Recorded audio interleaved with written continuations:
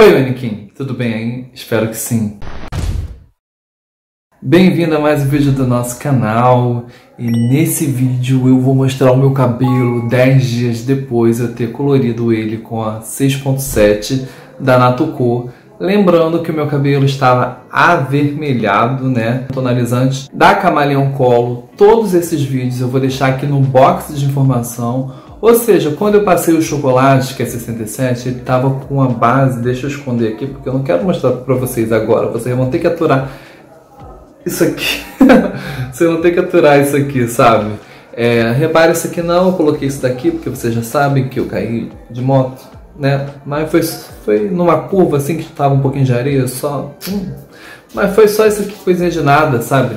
Mas já tá melhorando, graças a Deus e eu tô voltando a gravar aos poucos. Então, vocês gostam de ver o resultado do desbotamento, né, das colorações, e eu gosto também de trazer esse vídeo para vocês aqui, é muito legal.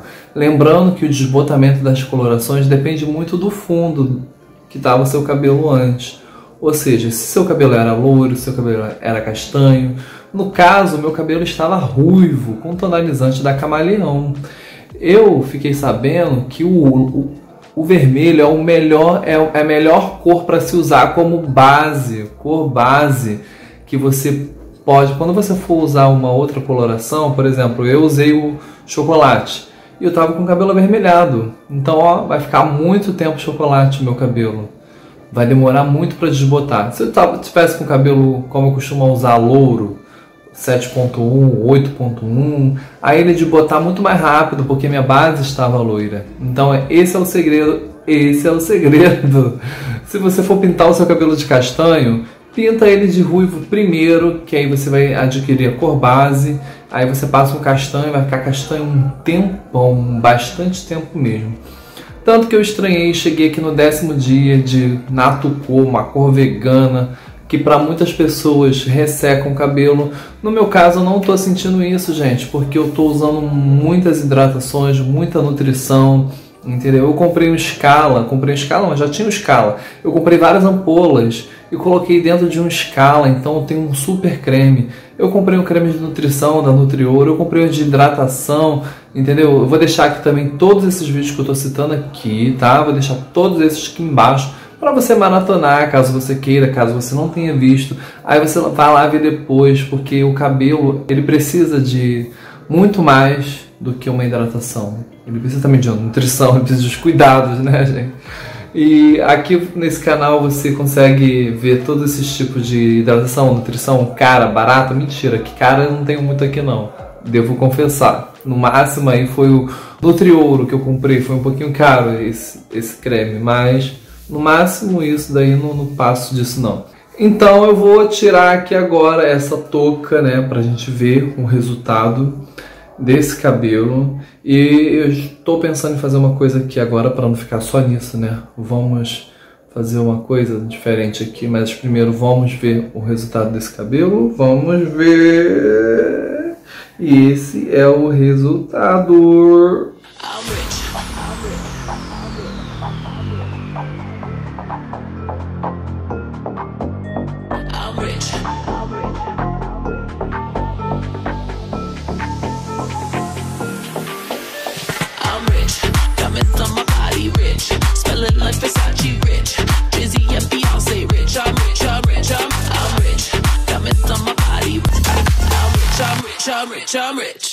E aí, gente, o que, que vocês acharam? Eu achei que ele não ficou muito claro, mas ele tá um pouco só avermelhado. Aqui tá um pouquinho desbotado, tá vendo? Aqui nessa ponta que eu percebi, porque eu acho que foi na hora da coloração e olha que eu pentio o cabelo e passo ele em todas as partes, separo assim, ó. E eu mesmo que pinto, sabe? Eu acho que aqui eu não passei tanto. Eu acho que foi isso que aconteceu. Mas o cabelo não teve um desbotamento muito grande, sabe? Ele tá com aquele fundo vermelho, sabe? Por isso que ele não teve esse desbotamento. Mas ele também não tá muito claro, tá vendo? Muita gente gosta desse tom comigo e fala que combina comigo e tal. eu nunca gostei de cabelo vermelho, né? Mas depois eu cheguei a gostar bem quando eu era bem novo. Eu pintava até de acaju. Lá para os meus 18 anos eu pintava meu cabelo de acaju, me lembro na época. Era dessas tintas colorações baratinhas mesmo, que eu trago aqui no canal. Coriton, Maxton, por causa do preço, né? Do, e do custo-benefício, eu sempre pintava e gostava do resultado. Mas depois que o tempo foi passando, eu fui mudando meu gosto. comecei a gostar de louro. Mesmo sabendo que não ia combinar com meu tom de pele, eu descobri que existe vários tons de loiro, né, gente? O louro começa a dar 6, 6.0, né? um louro bem escuro. Aí vai para 7, vai para 8, aí tem o 7.1, que é o louro sim acinzentado, que aí eu falei, caraca, o louro acinzentado. Esse eu vou guardar no meu coração, na verdade na minha cabeça, vou ficar por muito tempo com ele. Realmente, de fato, o louro acinzentado começou a ser minha cor favorita. Comecei a usar bastante a moto me atrapalha, não sei se vocês estão ouvindo. O chocolate vim usar agora aqui no canal, tá, gente? Eu não eu sou muito fã, mas entendeu? Eu, chocolate eu gostei também. O tonalizante eu vou, acho que eu vou usar agora aqui. Vou fazer uma mecha aqui, bem aqui na frente, para ver como é que fica, tá? Um tonalizante aqui da Camaleão. Eu tenho ele azul, tá? Vou fazer uma mecha aqui, ó. Para ver se eu gosto. Se eu gostar, se eu gostar, eu vou pintar o meu cabelo todo de azul. Eu tô com esse aqui, gente. Saíra, saíra azul, né? Que se fala. Máscara pigmentante turquesa. Produto vegano. Então, esse aqui é um tonalizante da Camaleão Color. Eu paguei menos de 50 reais, gente. Porque eu comprei pela, pelo aplicativo da Shopee. Então vou fazer uma mecha no meu cabelo e vou passar esse daqui, vou deixar por 40 minutos agindo, que é como diz a embalagem para deixar 40 minutos. Aí depois eu lavo e a gente volta para ver o resultado, como é que fica. Você lembra da pazinha? Quem assiste o canal viu que eu mostrei essa pazinha aqui, que é a pazinha de luzes. Ó, você usa ela assim, não usa ela, eu tô usando porque sou eu mesmo, né? Eu tô, eu tô olhando pelo celular.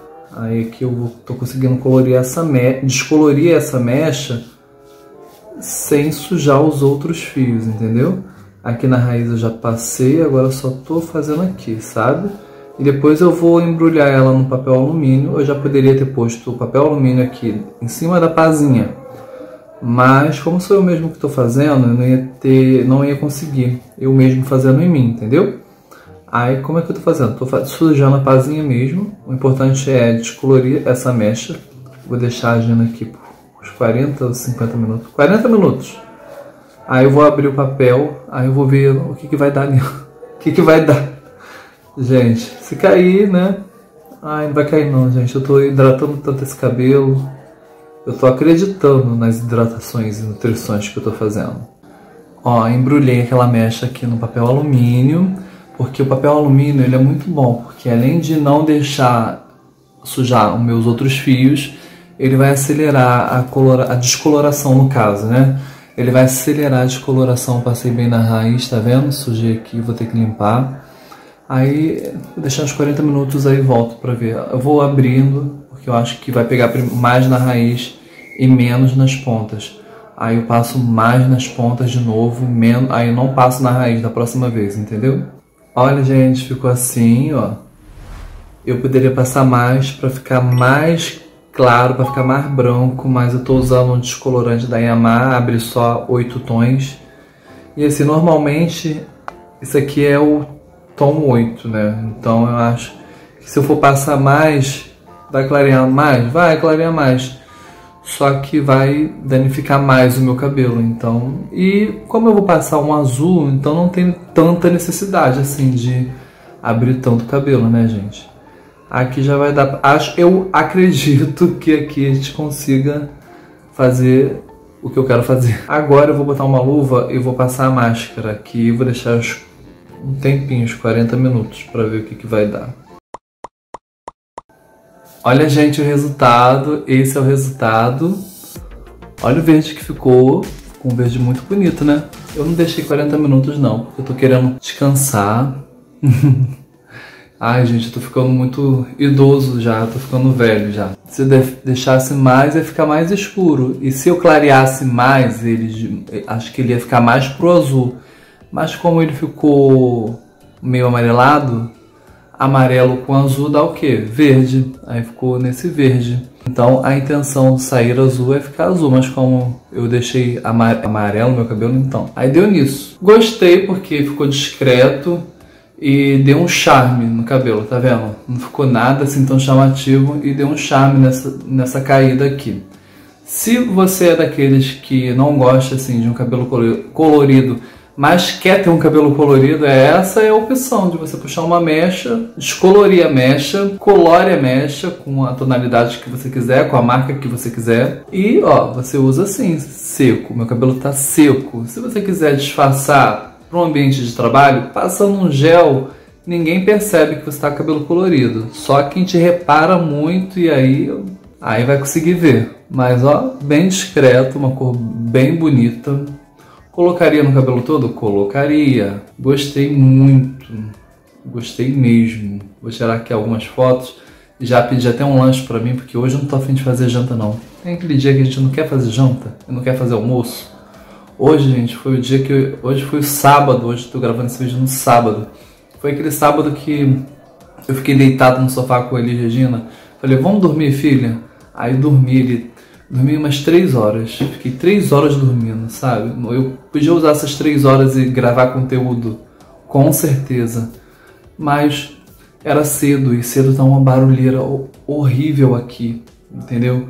Aqui da vizinhança, que agora eles vieram se mudar, entendeu? Não sei como são, como, como eles se comportam em questão de barulho, em questão de festa eu tenho os vizinhos aqui, mas ficam lá no fundo que ouvem muito som alto. Ainda bem que não é colado com a minha casa, é lá no fundo do condomínio.